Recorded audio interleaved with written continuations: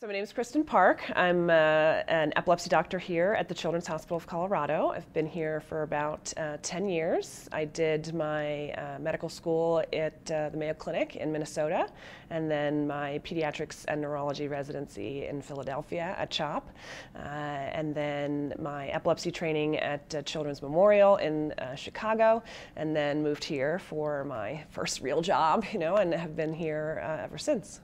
I, I work with um, specifically um, lots of neurogenetic uh, causes for epilepsy and other types of neurologic issues. Explain what chromosome 9 does. Mm-hmm. Um, we're not talking about with a mutation, we're talking like its basic function. Okay. So, I mean, the ninth chromosome contains huge amounts of genetic material itself, right? It has a, a short part and a long part. Uh, um, one, one's called P and the other called Q. Uh, and each of uh, those parts contains many, many, many genes that provide the instructions for our body to make lots of different proteins that do lots of different jobs within our cells and our body. So specifically, where is STXBP1? Yeah. It's a specific portion of that chromosome where that length of letters codes for this particular protein, STXBP1. Um, and its particular job is to um, work to help neurons send messages between each other. So um, I like to say that the brain communicates both electrically and chemically. So the nerves have electricity that comes in and out of the cells, so potassium, chloride, sodium, calcium, and all of those things flow in and out of the cell to send an electrical pulse down the, the nerve fiber and then it gets to the end, this what's called the synapse, and that synapse communicates with another nerve cell, and that's where the chemical communication comes in. One nerve cell releases little teeny packets of neurotransmitters, and you may have heard of some of them dopamine, serotonin, norepinephrine. All of those are neurotransmitters, and they're packaged in these little bubbles, and they come to the end of that cell, fuse, and get released into the space between the two cells travel across, and then the second neuron picks up those neurotransmitters and then sends the message along. And so STXBP1 is responsible for forming that bubble around those neurotransmitters and then lining up with the end and releasing that packet of chemical transmission.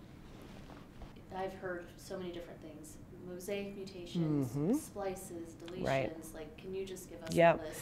So any, all of us have variation, right, within our bodies and our chromosomes and our genes, right? That's why you look a little bit different than me, and I have red hair, and my neighbor is very good at math, and other people are taller than shorter. So all of us have variation, right?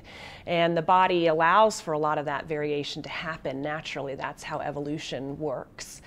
But when that variation occurs in a critical spot that causes the machinery that transcribes those genes to not work properly, then it becomes more of a problem. And so that machinery is, is very tightly controlled and regulated. It's right, it's a series of letters, and each letter, each group of three letters, codes for an amino acid, and those amino acids are strung together to make a protein. And um, our genes in, in whole also are kind of like box cars. So you have kind of a, a group of information called an exon, and then you have a linker um, where there's not so much information there, and then you have another box car uh, with the information and a linker. And the machinery comes along, and there's a signal that says cut here and join these two box cars together, cut here and join these two box cars together, and then the, all of those together make the protein. So anytime there's a change in that sequence, in, in, those letters, you put a G where a T should be, or an A where a, a, a, a C should be, um, it can cause problems. It may make a different amino acid come to that spot. That's called a missense mutation, meaning that a different, pro- a different part of the protein has been put where it shouldn't be. There can be a nonsense mutation, which often causes a stop. So it, that's like the protein, the machinery is going along, assembling everything, reading everything, and then it gets the code for a stop when it should have stopped down here. And so it makes too short of a protein, and the cell says, well, that's not really going to help me, and it degrades that protein. So that's a nonsense mutation. Anytime it gets the signal to cut in the wrong spot, that's called a splice mutation. That's what that process is called, splicing. Um, sometimes it will have something called a frame shift mutation, meaning that instead of those three letters at a time, it puts an extra letter in, which shifts everything down one letter. And then when it goes along and reads those groups of three at a time, it might again encounter a stop signal and stop short and not make a functional protein. So all of those different types of things are ways that a change in the code of the protein can cause it to not be assembled properly and not work properly. And so all of those things have been documented for STXBP1. For mosaicism, that's kind of a different set of things. Most of the time, STXBP1 mutations are what we call de novo, meaning that they happen only in the child and not in the parents. As a child is being formed, right, from an egg and a sperm, it has two sets of instructions, one from its mom, one from its dad. And then it has to divide over and over and over again and copy that genetic material over and over and over again. And you can imagine that if you were copying the encyclopedia a million times, you might put the wrong letter in the wrong spot, right? That's a de novo mutation.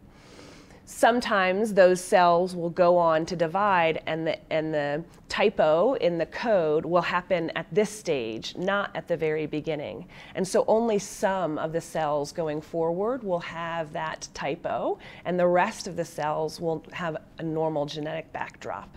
That's mosaicism. And so a parent can sometimes be mosaic for an STXBP1 uh, mutation, but they don't have any symptoms because it's only in 5% of their cells or 20% of their cells. But one of those cells happens to be the, the egg or the sperm cell that then gets passed down to the child who gets it right from the start and it gets it in every 100% of the child's cells.